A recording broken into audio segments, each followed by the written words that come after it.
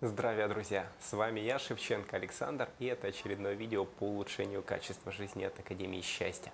Сегодня продолжаем тему силы сознания, потому что это как раз та тема, которая наиболее актуальна сейчас и которая действительно, ну, скажем так, помогает человеку понять себя. Потому что когда человек знает, кто он, то он понимает, что он может все.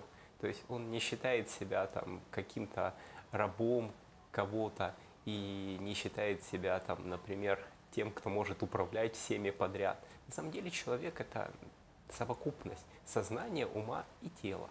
В данном случае сознание выступает как то, что наблюдает, то, что создает что-то и рассоздает это. И в данном случае оно не является частью физической Вселенной, хотя может, конечно же, проявляться в физической Вселенной различными способами. И вы наверняка это видели, когда наблюдали проявление бестелесных существ, то есть то, что мы называем душой, духом, некоторые называют привидениями, там, полтергейстом и тому подобное. То есть это все проявления энергетические, которые проявляет сознание в этой игре. А физические проявления – это то, что мы видим нас в телах, то есть то, что, ну, скажем так, можно пощупать, потрогать, то есть и, конечно же, то, что может наблюдать тоже с помощью зрения, слышать, то есть имеет органы чувств. И вот когда мы говорим про себя, мы обычно имеем в виду тело да, то есть мы говорим, как мы там выглядим и тому подобное, но на самом деле это лишь одна из частей нас, которая представляет просто нас в игре.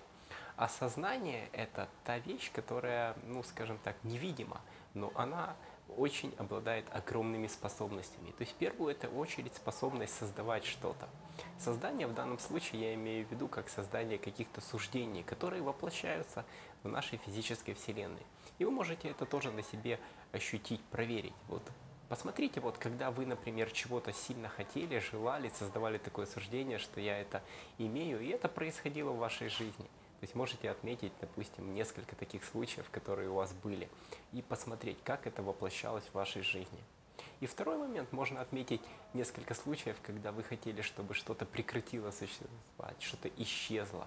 Вот. И такие случаи тоже, я уверен, вы найдете, когда вы не хотели, чтобы что-то происходило, и это не происходило. Это как раз называется вот таким вот постулированием, то есть когда вы желаете чего-то, и это происходит или не происходит. Такое происходит у людей сплошь и рядом. Просто у каждого своя задержка времени. У кого-то это происходит, может быть, очень быстро, прямо здесь и сейчас, а у кому-то нужны годы для того, чтобы это воплотилось. И просто отметьте это, что это есть.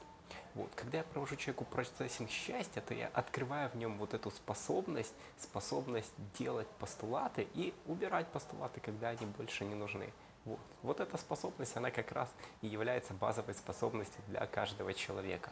И когда эта способность в человеке открыта, то он является творцом, творцом своей собственной вселенной.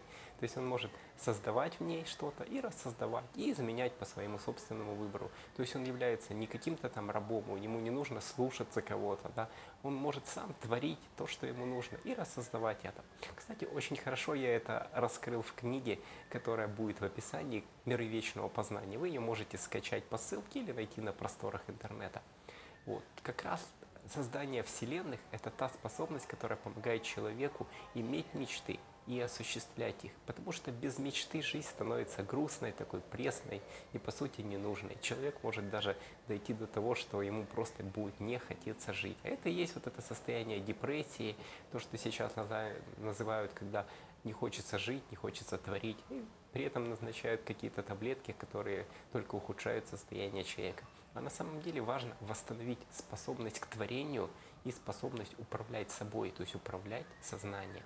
И вот, вот это животворящее сознание как раз и поможет восстановить остальные части человека, то есть тело и ум. И вот с помощью сознания можно сотворить чудо. Поэтому я, друзья, вас приглашаю искренне в Академию счастья на процессинг счастья.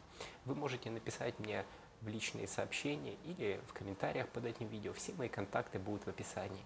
И, конечно же, я предлагаю для начала провести такую первую бесплатную консультацию, чтобы мы могли познакомиться. Вы расскажете о том, как у вас, какое у вас состояние, а я расскажу, как можно его улучшить с помощью процессинга счастья. Так что пишите смело и, конечно же, ставьте нравится этому видео, если оно вам понравилось. И подписывайтесь на мой канал, колокольчик для напоминания о том, чтобы не пропускать мои новые видео, которые выходят практически каждый день. И, конечно же, делитесь этим видео со своими друзьями. Я уверен, оно им тоже принесет пользу, понравится и будет во благо. Вам всего доброго и до скорой встречи!